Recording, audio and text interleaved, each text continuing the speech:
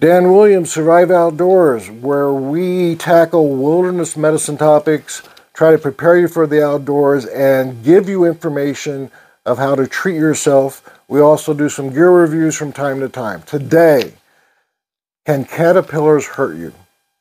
The little, not the woolly bear, but you know, that little black and orange guy that crawls around, the little fuzzy thing we've all picked up when we were kids. That one's going to be benign, no problem. But there are caterpillars in the United States, quite a few in fact, that can give you hell. All right? So these caterpillars, we're going to go down the list and name them. I'm going to show you some photographs and the geographic range of where these caterpillars are at. And then we're going to address treatment. If you like this kind of stuff, subscribe. We'd love to have you. And you'll be notified about every wilderness medicine video we do. All right, so there are approximately worldwide 165,000 uh, species of caterpillars. And in the United States, clearly not that many. Caterpillars are at their highest rate between August and November. And those are the times when individuals are picking fruit, uh, they're climbing trees, they're, they're trimming off branches, you're putting up your deer stand in September.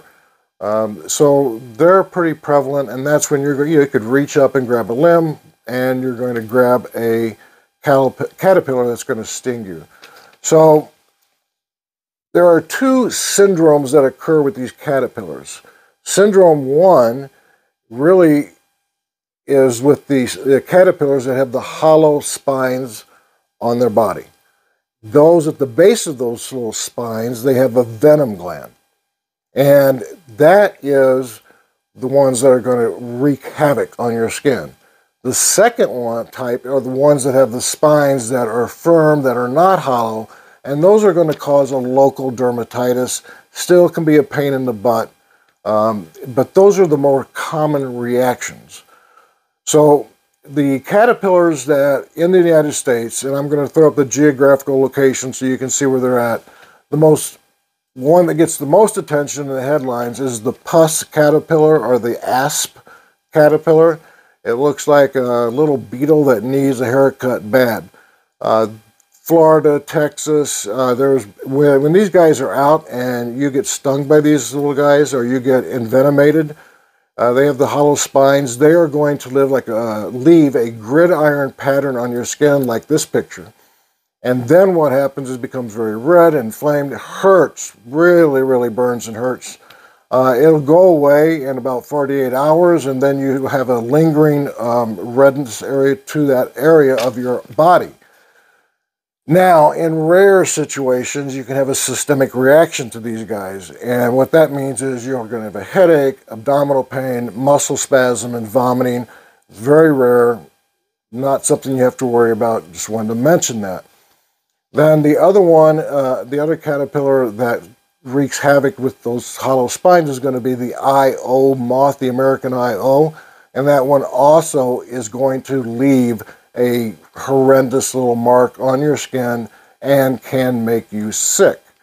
So those two are the main ones. The other ones are going to have the solid spines on their body, and those are going to leave a, you're going to know it. You're going to know it immediately on all of these. If you grab them or pick them up, or you have a kid in the backyard playing and he sees one and picks them up, it, will it'll sting, it'll hurt, and they'll embed those little bitty uh, spines into your skin, and those are going to be the uh, flannel moth, this guy. Uh, there is the saddleback, which is this guy, and this is his geographic location. Then you have the um, American IO moth. We talked about that one. That one's this one, and the geographic location. And then we have the uh, all too common, decimates the hardwoods, is the gypsy moth. even the gypsy moth can embed its little spines on your skin. I've picked them up and I've been very careful, but there have been cases where the gypsy moth has caused a local dermatitis. Now, in rare situations, little kids, two, two and a half, three years old, toddler stage, they see this beautiful bright colored caterpillar. They pick it up, they put it in their mouth, and they get a local reaction. They start drooling excessively. They have some uh, pharyngeal swelling and edema. Real scary, but they will do fine and they get brought in. I've seen two patients in the last 30, 35 years. One was a gypsy moth local reaction, and the other one, the mother didn't know what it was. We're not even sure if it was a caterpillar, but it sure did look like it when I uh, saw the patient, the kid. So, what is the treatment? for these guys. So, believe it or not, you have it in your backpack. I told you to keep it there. Is duct tape. Pull you off some duct tape, put it on the area, pull it off, and that will pick up those little hairs and spines that go into your arm. Just like if you went up against a cacti and they have those really fine needles. Even with a magnifying glass and forceps, it's really hard to find every one and pick it out. Then it's just supportive. It's going to be topical steroid cream, uh, antihistamines, diphenhydramine, which is Benadryl, fexofenadine, which is Allegra. You can use any of the antihistamines. The steroid cream works great. Um, put on a cool compress and a cool washcloth. If you're concerned and you start seeing any of the other symptoms, muscle aches, severe fatigue, uh, any of those, you need to go right to the emergency room. Really important.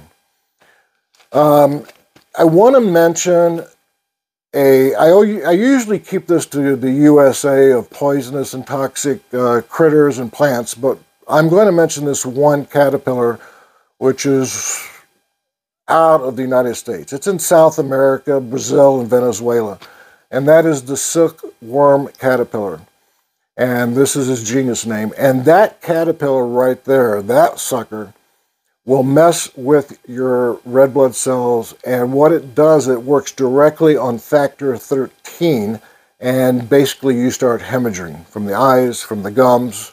Uh, it's a mess. There have actually been a fair amount of deaths from this caterpillar in South America. Kind of a gee whiz fact, just wanted to bring that up. There also can be issues with children, and there's been probably four or five cases in the literature where they get these spines stuck in their fingers and they wipe their eye, and they get these in their eyeball. And there are half a dozen cases where they've actually had to remove the eyeball, which is horrendous for these children because of the severe inflammation and it can't be treated. There are also some case reports uh, people hanging their laundry out. And these spines from these caterpillars, when they're really just chowing down on a tree, come off their body with heavy wing, winds and goes into the sheets, the bedding, clothes, and you're putting it on and you have this horrendous rash with these little red papules. And trust me, you could do one heck of an investigation, and most of the time, vast most the most time, we're not going to figure that out. I mean, you know, we're going to misdiagnose that most likely with something like scabies or something else. So, those are the caterpillars that can hurt you in the U.S. Some of it's rare, some of them are very common. So, hey guys, keep your eyes on the horizon, your face to the wind. I will see you next time.